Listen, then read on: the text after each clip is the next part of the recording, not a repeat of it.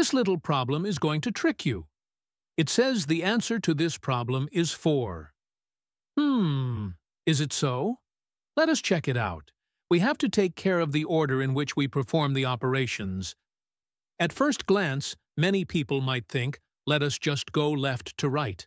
And thus they will do 30 minus 18 first like this, which gives them 12, and then divide that by 3 to get 4.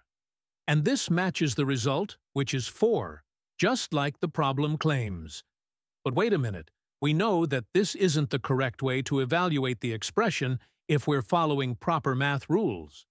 According to the order of operations, sometimes remembered with the acronym PEMDAS, which stands for parentheses, exponents, multiplication and division from left to right, and then addition and subtraction from left to right, we must perform these operations in the given order.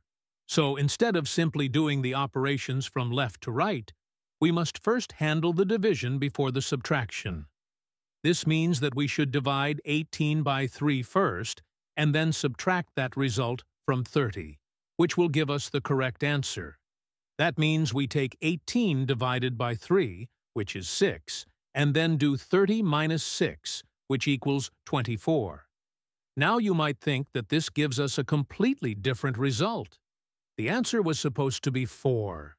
This is where the trick lies. Can you see the exclamation mark after 4.